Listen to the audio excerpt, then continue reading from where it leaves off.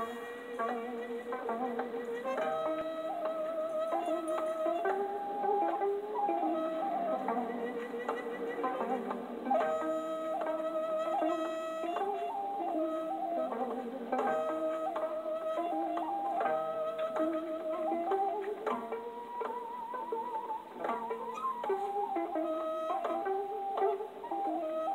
Away with it. General Harrelson will hear about this. Oh, shut up.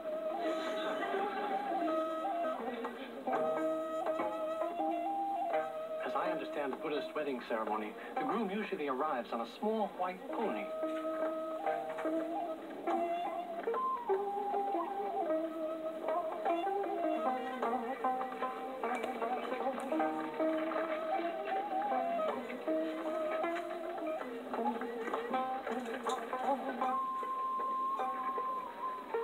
Silent ceremony. No words are spoken. After the groom approaches the bride, a helper pours rice wine for both of them.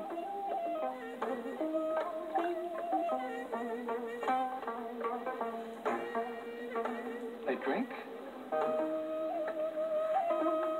They bow to one another. The groom places the ring on the bride's finger. Thank you.